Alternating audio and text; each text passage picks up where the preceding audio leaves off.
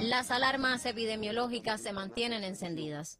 Cuba reportó hoy 1.041 pacientes positivos a COVID-19, segunda cifra más alta desde el inicio de la pandemia. Así lo informó en conferencia de prensa el director nacional de epidemiología, doctor Francisco Durán García. En el día de ayer también se diagnosticó la cifra más elevada de casos autóctonos desde marzo pasado, con 1.030. Es la cifra más alta que hemos tenido, lo cual habla de transmisión. Porque el primero de febrero había fundamentalmente casos importados. Ahora la situación es diferente. Las provincias con mayor número de casos confirmados son La Habana, Pinar del Río, Granma y Santi Spiritus.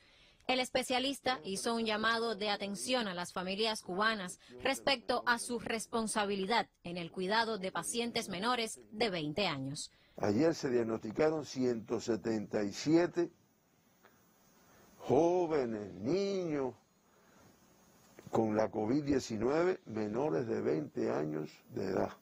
Pero de esos 177, que es lo peor todavía, pues 152 en edades pediátricas, 18 y menos de edad.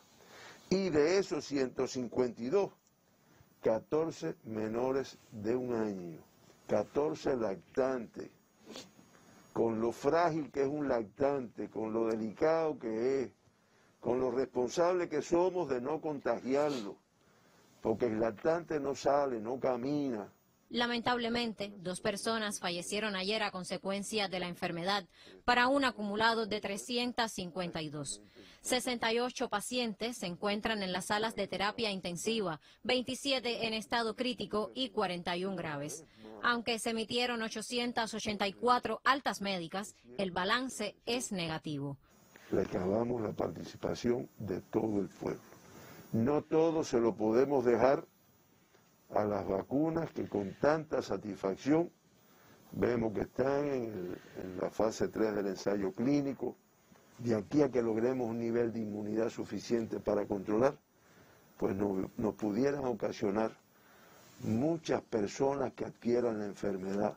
La actual situación epidemiológica es compleja pues en los primeros ocho días de marzo se acumulan ya 7.017 casos positivos, con tendencia al incremento.